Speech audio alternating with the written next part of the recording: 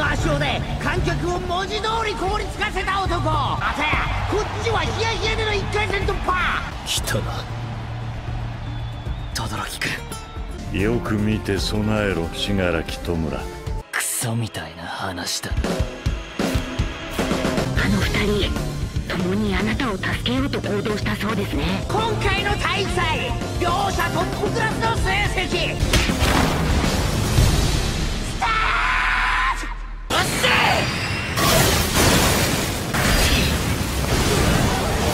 やっぱそう来るか。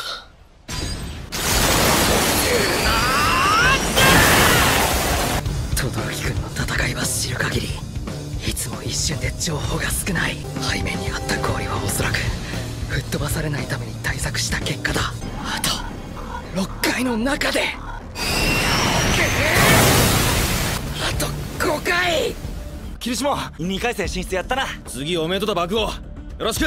おめえも轟も強烈な範囲攻撃ポンポン出してくるからな。ポンポンじゃねえよ。なめんな俺だって出せる威力には限度がある。個性だって身体機能。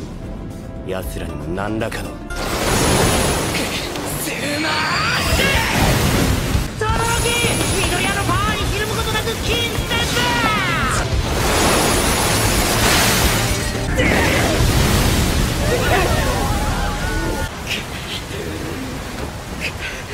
ずいぶん高威力だな。近づくなってな。全ての能力が強い。守って逃げるだけでボロボロじゃねえか震え。クソ親父の個性なんざなくたって。その両手じゃもう戦いにならねえだろ。圧倒的に攻め続けた轟。どこ見てるんだ。てめえ壊れた指で震えてるよ。轟君。兵器に耐えられる限度があるんだろみんな。本気でやってる。半分の力で勝つ。全力でかかってこい。緑谷少年。あの小僧。何のつもりだ。クソ親父に金でも握らされたか。動きが。鈍い。近距離ならお前は対応できない。しない轟に一発入れなかった。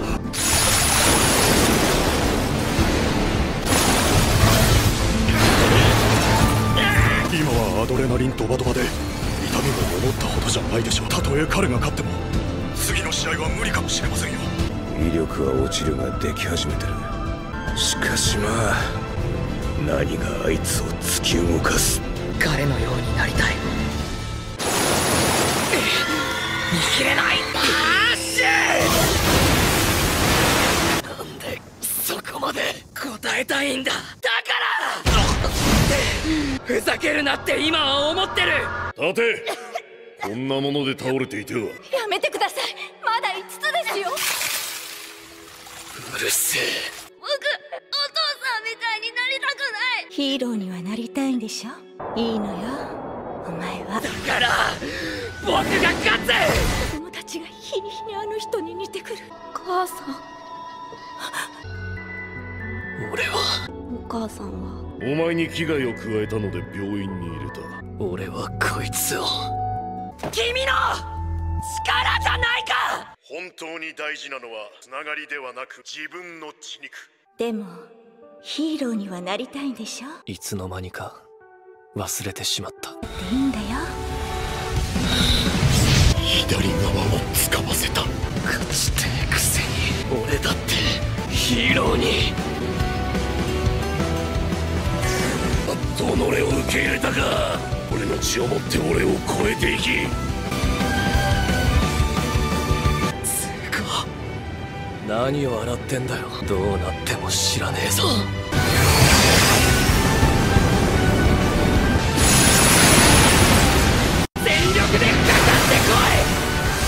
い緑がありがとな。どうなってますの？